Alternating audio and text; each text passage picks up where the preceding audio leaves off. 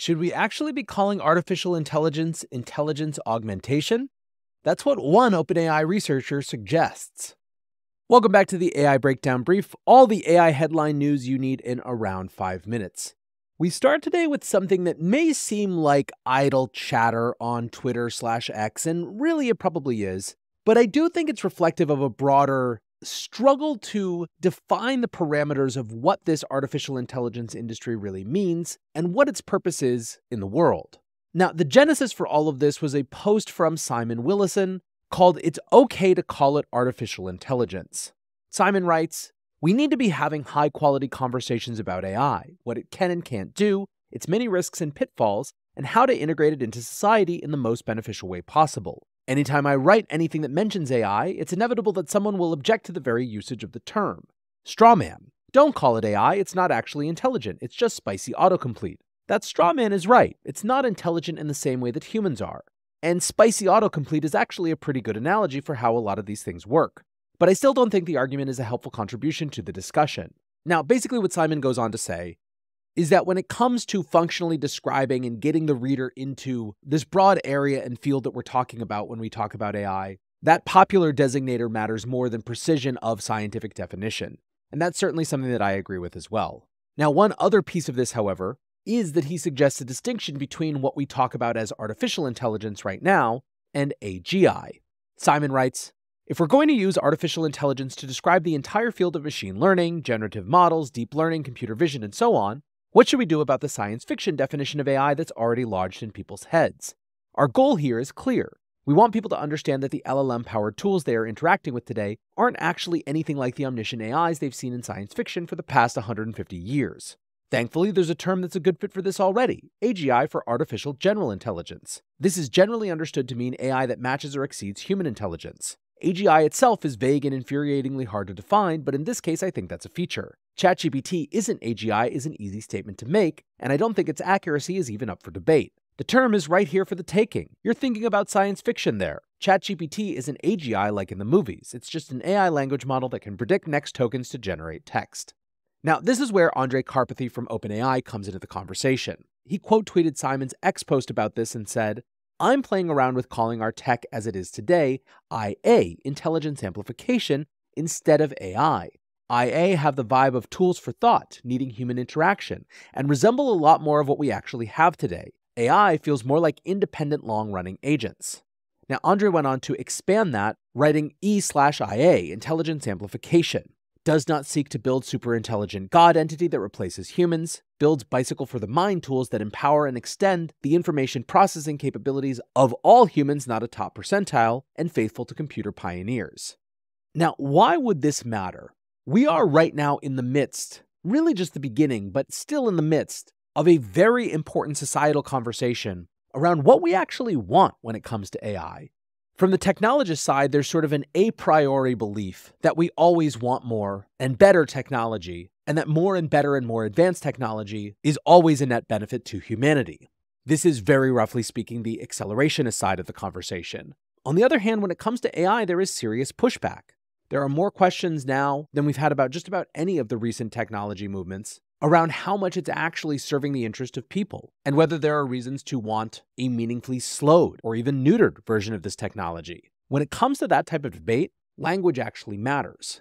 Being able to easily say we want this type of a thing, but not that type of a thing, and having names for each of those things that make them easily communicable can be the difference in getting broad based public support. It may be that Andrej Karpathy trying to define a term that makes it clear that it is, quote, not seeking to build super intelligent God entity that replaces humans is actually much more significant in the future than it seems right now. Anyways, I think it's a fascinating little undercurrent. It's something that I'm going to be watching. I don't anticipate this IA shift to make a big splash or anything. It's more the underlying narrative debate that I see it representing that has me interested. And now to the rest of our stories for today's brief. Staying in the realm of OpenAI for just a moment, Microsoft has picked their executive Dee Templeton to join OpenAI's board as an observer.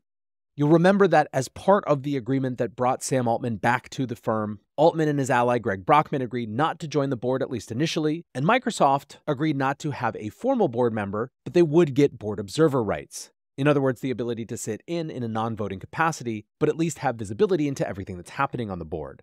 Dee Templeton has been at Microsoft for more than 25 years. and is currently the company's VP for Technology and Research Partnerships and Operations.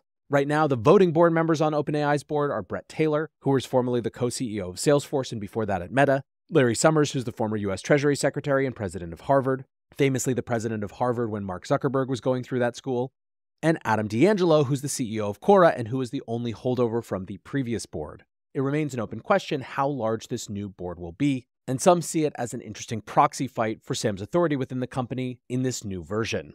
Now, from a product perspective, OpenAI continues to scream ahead. News reported in TechCrunch today ChatGPT is finding its way into more vehicles, this time in Volkswagen cars and SUVs. Announced as part of CES, which goes off this week in Las Vegas, starting in the second quarter of this year, ChatGPT will be integrated into Volkswagen's onboard computer for many European models, although they won't be initially in the US. Now, VW is not the first auto manufacturer to put ChatGPT in cars. That distinction goes to Mercedes Benz, who started experimenting with it last June. Now, one company that is also rolling out a chatbot, but not ChatGPT for its employees, is Big Four consulting firm Deloitte. Around 75,000 of the firm's staff members are being given access to their PairD tool. Interestingly, this chatbot was not built in collaboration with some external startup or lab, but was developed entirely internally to Deloitte. The goal of the tool is to help increase staff productivity in areas like answering emails, drafting written content, automating code writing tasks, creating presentations, creating meeting agendas, carrying out research, and more.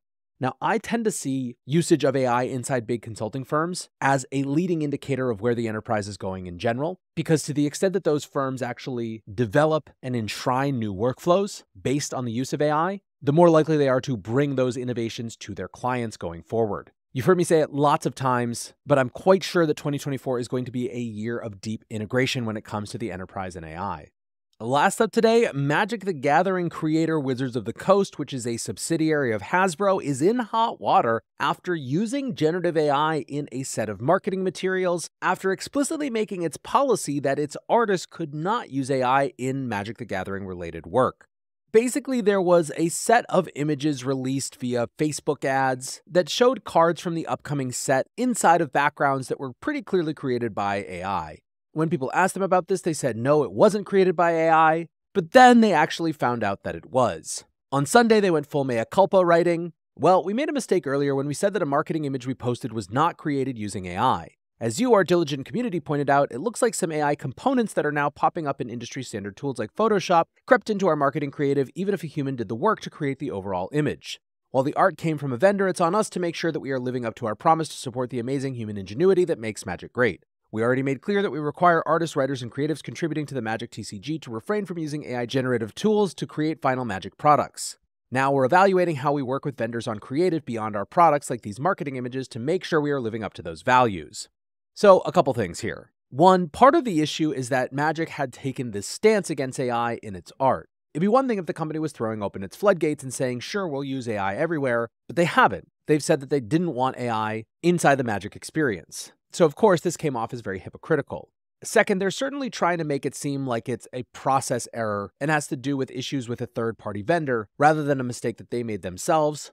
They also tried to point to tools like Photoshop as part of the culprit, now, on the one hand, this is a story about community uproar and the negative PR costs associated with using AI for a company that indexes high on creative and artistic material like Wizards of the Coast does.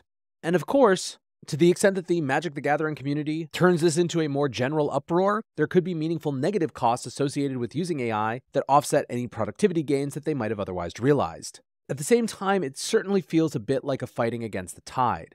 And even the artists who are making a stand and trying to say that they won't work with Magic the Gathering anymore have a little bit of an air of having already lost a battle that they're still fighting.